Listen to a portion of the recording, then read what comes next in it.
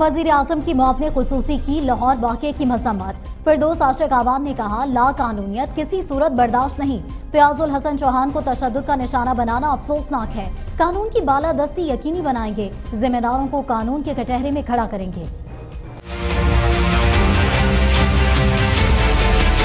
کالے کوٹ اور سفید کوٹ میں میچ ہوا۔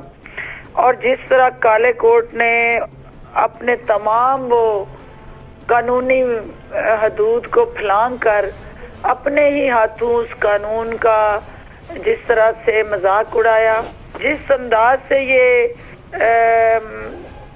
مطلب توڑ پھوڑ تو پیچھے رہ گئی۔ فیاض الحسن چوہان صاحب کو جس طرح انہوں نے تشدد کا نشانہ بنایا، جس طرح وہاں پہ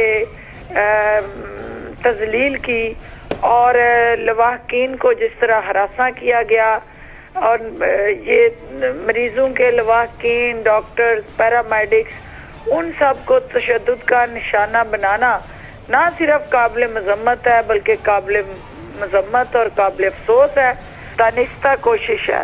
اور جس انداز سے وہاں مریض جو ہے، وہ تڑپتے رہے اور ایک ایسا جنگی ماحول وہاں دیکھنے کو ملتا رہا۔